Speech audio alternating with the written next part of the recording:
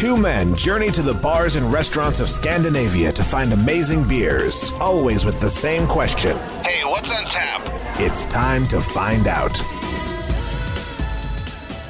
Hey, and welcome to What's on Tap podcast. Uh, your host for your source, not host, your source for uh, beer drinking in Sweden. That is true. You Or- are one of the hosts. I am one of the and hosts. the show is a vessel for us. It is. Yes. It to, is. To, to get our ramblings across. Hi, I'm Martin, your Uh, co-host. I'm Stefan.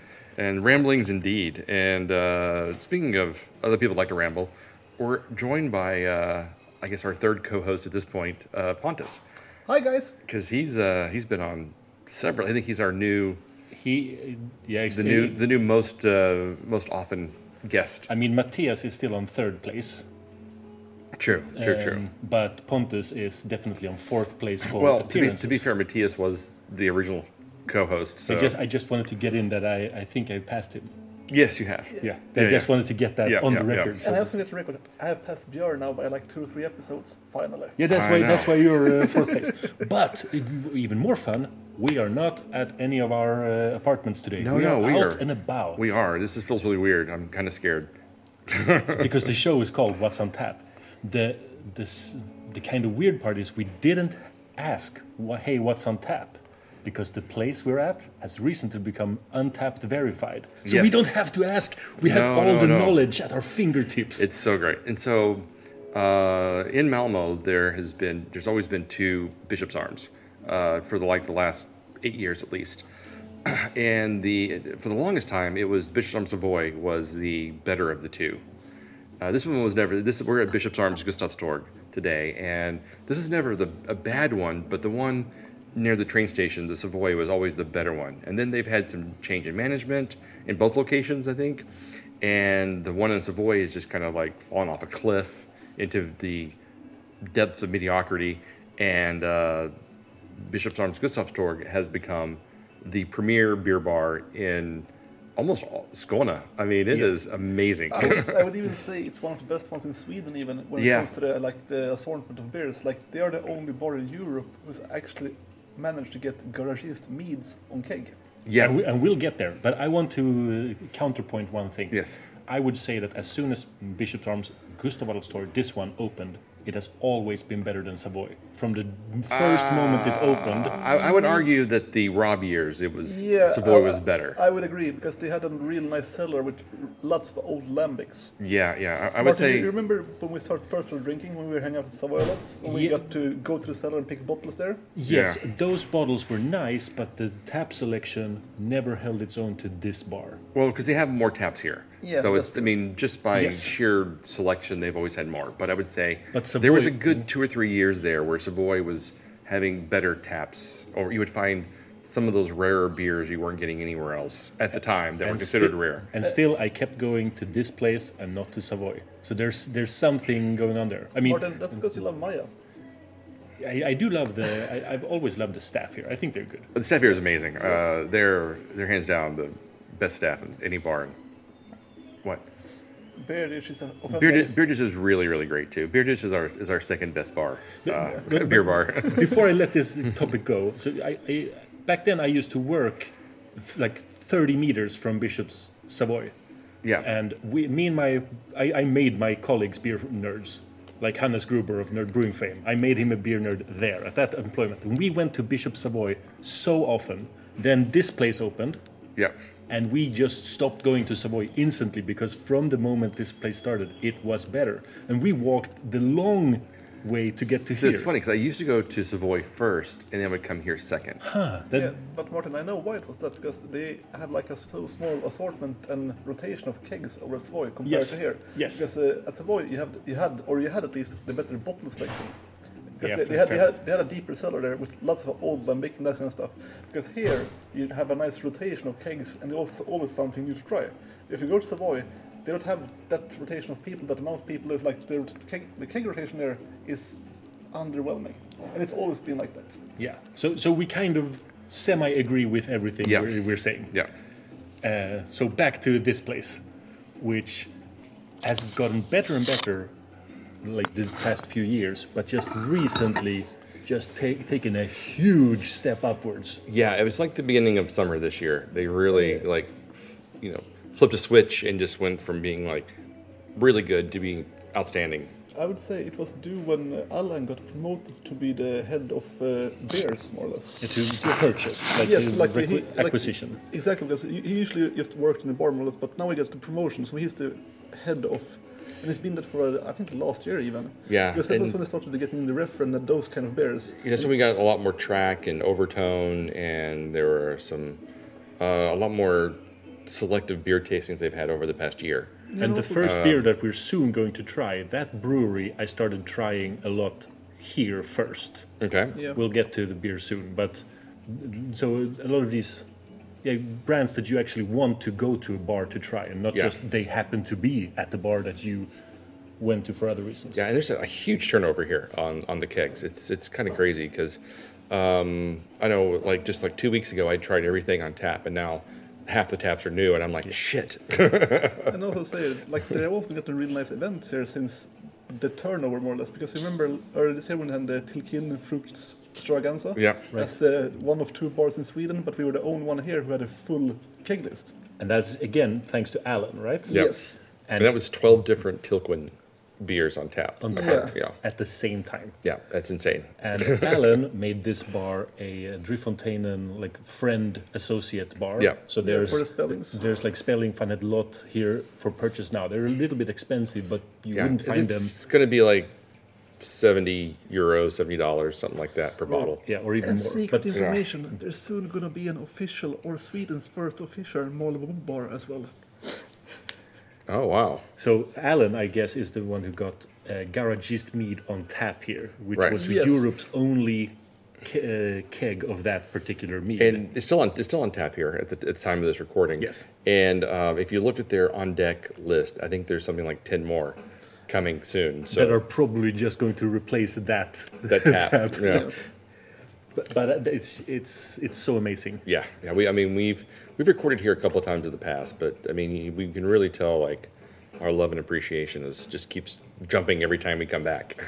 And then just recently, it became Untappd verified. And I actually talked to the bartender while while ordering beers now Yeah. before we started recording, uh, if he felt any different, and he actually did. He felt like more people came to the bar like pre-prepared and uh, focused. Yeah. I want that. Yeah. I want that. I want that. And he said it actually has given him a little bit more time to talk to the novices, the ones that say, "I don't know what I'm going to get." He now has a little bit more time.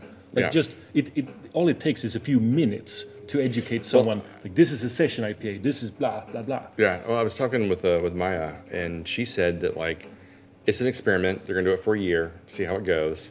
But she said just like it's kind of crazy because sometimes we'll put something on tap, and then like within minutes of putting on tap, and it shows up on on, on yeah on Untappd, people just run in and be like, "I need to try this beer." That is amazing. where they wouldn't have ever before, and maybe there'd be some stuff that would languish for a while because, you know, you didn't get around to uh, to knowing it was here. Exactly. Like nerds like me, I would refresh the feed at this place to see if anyone had checked in anything. Yeah. But that would require someone to discover it, buy it, try it, and tick and, Yeah. and well, rate it. well, fortunately, we have some pretty reliable, uh, Untappd people that that are here almost every. It feels like they're like every other day. I don't know if Lasse and Leonard listen to the podcast. Hi, Lasse and Leonard. Yeah. We're talking about you. But you kind of like go in and just look like, oh, Les and Leonard are out today. Where are they drinking? And it's like, all right, there's new stuff here, new stuff here, new stuff there. So should we try the first beer? Sure, let's get into So the, the first beer. brewery is Pentrich. Yep. And they've been around like on cans on web shops and stuff. Yeah. For And, uh, about say almost two two years. yeah. Yeah. But but the, I think I've had the most Pentrich as d- at this very venue. Yeah, because they usually have a like. It feels like they have a keg on at some point all the time. I I think like they have at, at least one keg all the time. Yeah. Yeah, it feels like, and maybe maybe it comes and goes. Maybe there's a few weeks in between, but Because I think It's- it's, it's, it's all the time. it's when they buy the Overtone and the Pentrich, they always have at least Yeah. one of those breweries, one of each on top. and and Pentrich is um, Scottish or Irish. I think they are uh, from Salford even. My, If only there was some way to look that up, but there's Like on the alas interwebs. no way to, to tell these things. My, they, Dar- Derbyshire, England. Okay, so they're they're they're UK beer. Yes. Okay. And the beer I got was Saint Monday, which is a I bet about 10% uh, Scottish wee heavy. I love wee heavy. It's one of my favorite styles. I don't know why. I just think it's a lot of fun to drink, and you don't see them that often. So whenever they come out, I'm always like, "Oh, let's get one of those." I've been thinking about this because we've talked about overly sweet barley wines that we kind of don't we don't want them to be so sweet. Mm-hmm. Yeah. But Scottish Wee Heavy is really sweet, but It it, is still really kind of works. Yeah, I think for me, the wee heavies when they're barrel aged, it's like the perfect combination because it I takes totally that it takes that sweetness from the wee heavy, and it marries it with those amazing, uh, you know, bourbon, vanilla tones, um, and then I think that's why like Backwoods Bastards have been always one of my favorite beers because it takes the wee heavy and barrel ages it, and it's Isn't just that like, an old ale? oh, you know, I think maybe I don't remember anymore. Th- th- There is some fine difference there. But Yeah, yeah, but But now that we've tried this, we didn't do the the, the nice uh, clinking of glasses. Yeah. But wouldn't you say that this is a little bit too sweet? It is. It But is on the cane sugar kind of flavor, but there's a, a bit of a roasty smokiness to it on the back notes that I Yeah. think keeps it from being uh, like just pure sugar water. I'll say there's also like some kind of molasses in it. Mm-hmm. That is like keeps it sweet but not too sweet. Because Yeah. it, it can be too sweet as you say, but this one, as Stefan said, it's got a nice back tone to it that balances it all out. Yeah. So I, overall, I agree with you on uh, smokiness and roastedness. Also get a little bit of like coffee uh, uh, flavor. Yeah. I think it's quite ni- quite nice. Yeah. The, the like up front, you're like, oh, that's that's like pure saccharine. Uh, it's it's really sweet, but then it like it me- it just kills, it just dies almost immediately, and you get this like slight smoky roastedness to it, which I wasn't expecting. Um, I think it's it's really really good. do you want to know why it's sweet? yes. It even contains maple syrup. Oh, Which is interesting because it doesn't taste dry. For No, me, mo- maple beers really are pretty dry finish. Um, but this, I don't get that at all. I think this has got, it's got a lot, so much going for it. Yeah, Uh, they I'm- are- I think it's really, really nice. yeah, I, uh, I think this is a really, really nice beer. so what would you guys give this? I am going to give it a 425. Ooh, Strong 45 there. I'm on a four. Ah. I, I don't know what's. Uh, I, I need to try it again. It might be because of the sweetness for you up front. Yeah. But I think nothing. Uh, for me, if it was just sweet and all you got was sweet, it would just be like, I mean, it would probably be like a 325. But because of the flavors that you get afterwards, it's just like, oh, there's so much happening here I wasn't expecting. And that's kind of, for me, that's kind of exciting. yeah, like, like it lingers so long in your mouth Yeah. in a good way. Yeah, yeah. It's almost like a uh, like a German Rauch beer in, in the final finish. What? I, I don't agree with that. It's not it's not bacony. It's not like like super super smoked, but there is like this like smokier edge to it that I just completely took me by surprise. Stefan, I added up a bit. Take another sip. Now I get the booze as well because I didn't get the first sips, but now I get the booze, which makes it even better. better. Mm. okay, I, I'll stretch myself to a really strong four, almost a 425. All right. Almost. You don't have to. No, Martin. You know, Martin. I don't want to be wrong. Beer is, beer is individual taste. You don't No. have to agree with Yeah, us. yeah, There's- yeah. But, but like- what we are correct. Exactly. There's Like one we, we, correct we, answer. we tried a I, we, we all tried a beer earlier and you guys loved it and I was just like I do not like this at all and it was a And we- we- strawberry cheesecake imperial stout and I was just like this is not that good and you were like it's amazing and I'm like No, it- well it, tastes like stout and frozen strawberries, no which is like ice cream. It, So it throw ice cream didn't it didn't taste like that at all And Liar. I, don't I don't think you understand what strawberry ice cream tastes like well, I, I only tried the GB glass Trepack in Sweden, and that's, that's not even ice cream. Uh, and that beer was from the same brewery as our next beer. All right, so our next beer is from Hidden Springs. It's called Life on Standby. And this is a barley wine, I believe. Aged on apple brandy barrels. That Aged explains so much. Apple brandy barrels. Okay. Because I just tried so it. the Calvados, um, the Calvados um, barrel aged beers or apple brandy beers are not my favorite barrel aging style. I uh, I usually find them way overly um, uh, boozy. And in this case, slightly acidic. Yes. Um, okay, so barley wines tend to be pretty sweet, and um, I don't think this is very sweet. But I will say, while I don't, I didn't enjoy the upfront, like the first swallow, the afterwards, it's quite apple brandy Yeah. pleasant. It's kind of weird. I, I would say this is probably the most apple brandy I've ever gotten in a barley wine ever. Mm-hmm. And then I, I tried many of them, but like the officer said, it's like almost pure apple brandy, more or less. Yeah, no, no. The I the only redeeming quality for me for this beer is the aftertaste because I don't think it tastes particularly good Um, it's just kind of thin and uh, watery, and kind of there's a hard alcohol heat to the to the front, and then afterwards you get this really nice, pleasant apple brandy kind of flavor over your mouth, where you're like, oh, that was actually pretty good. So Stefan, you can give this beer three ratings. One for the beer itself, one for the barrel, and one overall. I won't do that. I'll just give it one overall because that seems way too complicated for me. Um, this is really tough for me because I don't really enjoy this beer that much, and it's only by pure happenstance I think that I enjoy the final notes. Yeah. Uh, so I'm gonna give it a three two five. Three seven five for me, somewhere around there. Yeah, and I'm on with Martin's page here because uh, I think still it's a pretty okayish barley wine, but the barrels weigh it up and makes it a lot better. So yeah, a 375 here, but a weak one. I think the, I think the barrels kind of maybe drag it down a little bit and kill any of the barley wine characters to it because I don't get any barley wine notes. I just get kind of a watery thinness to it that's just got this huge alcohol heat that kind of like kind of overwhelms me a bit and it comes up through my sinuses and it's like whoo boozy and then it's like oh well that's a really nice aftertaste though Yeah, it, but it's fun. Even though this one didn't uh, tickle our fancy that much, it's it is amazing to see Hidden Springs on tap in Malmo. I remember, especially barrel aged hidden springs. yes, yeah yeah and I'm super excited to try it um, I remember pre-corona, me and uh, one other friend, Pontus was supposed to join, but he got sick. We went uh, over to Denmark just to go to a Hidden Springs tap takeover at uh, I think Fermentoren. Yeah, And, uh, and I mean that felt like wow how are we ever how are we so lucky to have to be able to go to Copenhagen and try Hidden Springs on tap wow I remember, like, it wasn't even that long ago when it was like, um, what's the uh, the founders um, stout that's really popular? KBS KBS or CBS. KBS. Yeah. When- Can, when- Canadian or Kentucky well, when KBS Kentucky brand Kentucky uh, stout uh, first came out on taps here, it was like, holy shit, we're getting KBS on tap, and then uh, and then Savoy got CBS on tap, Yeah. and we're like, holy shit, we got CBS on tap, and now those beers are so far in our rear view mirror. That now we're just like, holy shit, we got Hidden Springs on tap, But and then and within like two years, we're gonna be like, oh my god, now we got this brewery on oh my tap. god now we got Frosty Beers Imperial Stouts on tap yeah. Side project barrel aged stuff. Honestly, it wouldn't surprise me if, if, if that ha- was to happen at this point. I mean, Yeah. we're getting so many things now, um, because so many. I don't I don't know what the how things are flowing and having built. We used to see Westbrook all the time, yeah and now that's like you never see them anymore. But talking about Um, good beers on tap here in Malmö, we had uh, a few weeks back. You remember the keg they got at Bearditch?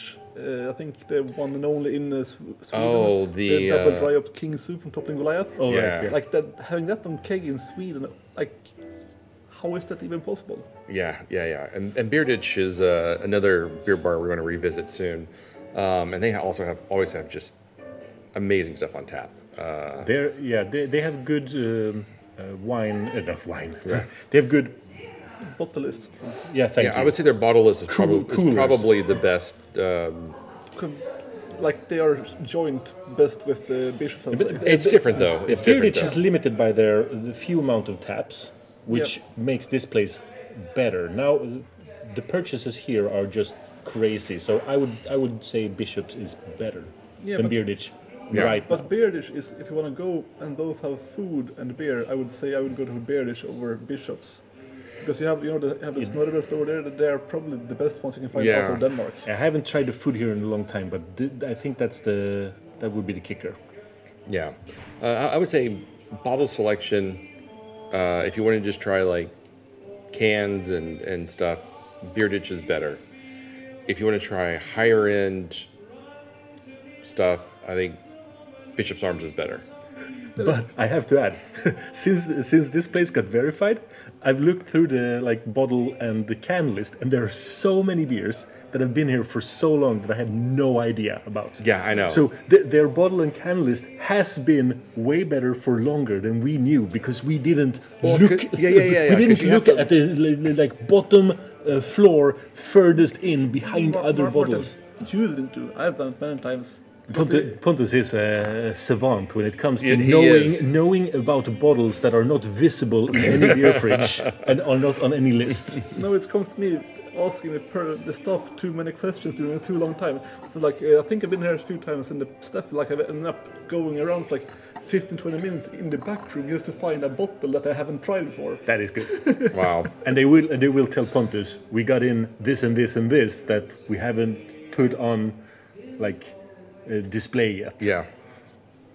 Uh, yeah. So if you ever come here and Find Pontus. find Pontus first. No, if it, Pontus isn't here, which happens from time to time, Find Alan. find Alan. Alan is Alan is amazing. He's uh, he's usually behind the behind the bar, but uh, they have a, a glassed-in wall uh, right across from the bar, right behind the seating area, where you can see all of their bottles, basically all of their kind of sours and and uh, better quality uh, stouts that they have. At least a little selection. Yeah, yeah, a little selection, so you don't have to kind of search through the look look behind them and try to interpret what are the bottles that you see um, behind them. Because I remember spending many times going like, "All right, what's that bottle? No, no, not that one. The one beside that one. All right, I don't want that. What about that one over there?" And I feel like monopolizing so much of the of their time that this is really making things a lot easier. I can go, "Oh, I want this thing," and then it's up to them to figure out where the hell they put it, Exactly. exactly. which is a lot more fun. All right, well, let's wrap this up. Summary: Bishop's Arms Gustav Adolfs torg in Malmo is amazing. Yes, Yes. yes, I would say one of, one of the best uh, beer bars in all of Sweden. Um, certainly in league with uh, the best things in um, Gothenburg and uh, Stockholm. Yes. Yeah, I think the only thing that could beat this is Akkurat, and that's that's Mm, I think Man in the Moon is better than Akkurat. You mean accurate before Stena sold it? no. They still have a super deep cellar. Yeah, but it's not the same. No, No, would but still now we have he works at Sumtranskan instead, which is also a really, really, really good bar. I, it's a really, really great German beer bar uh, that always has Cantillon on tap. But I think I think Men in the Moon. I think it's a great uh, beer bar as well. They always have crazy good taps. and also Pressklubben. Yeah, yeah. I've never been to Pressklubben. I've never been there. Yeah. But they were the other bar who had uh, Tilquin on tap when this place had all of them. Yeah, and they, they, they only had, I think they only got 10, got 10 out of 12 kegs as well, so they didn't even have all the kegs. Ah. And they served didn't have enough taps to put all of them on at once. Oof, that's tough. That's, that's woof. And then, um, and then if you go to Gothenburg, what's the? I can't think of any of the beer bars are now, but there's the one that's the pizza place, Brewers Bar. Brewers Bar that everyone At goes Tredje to. Långgatan. Yeah, which is. I've always found it to be good, not great. Yeah, I I say that, that, that's me kind of the whole Gothenburg bar scene. Kind of good, not great. Yeah.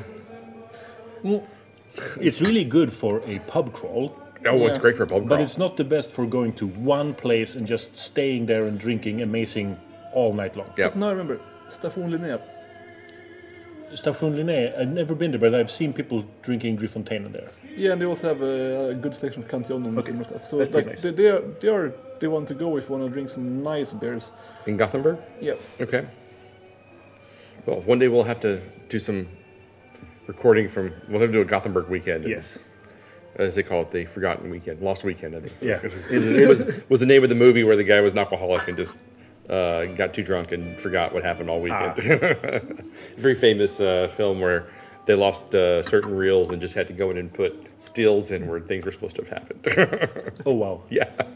All right. Well, let's wrap this up then. Uh, you can find us online. Oh, Pontus, thanks again for joining us. Well, Uh, thank you for I don't think we ever asked this, but uh, is there any uh, anywhere you want people to find you online? Do we want to track No, you on please- drinking? please- please please don't don't. find. Please don't find you. All right. If anything, you can find me on Tapped. I'm called Lord Potato there, and that, All that's right. probably So it. so Lord Potato on Untappd. Uh, friend him there, and then watch him uh, slowly die of cirrhosis, like we all are. Um, so until next time, you can find us online at what'sontappodcast.com, Instagram, Facebook, YouTube, um, Spotify. Spotify, and wherever you find amazing podcasts, you can find us as well. So until next time, Keep drinking, you dum-dums.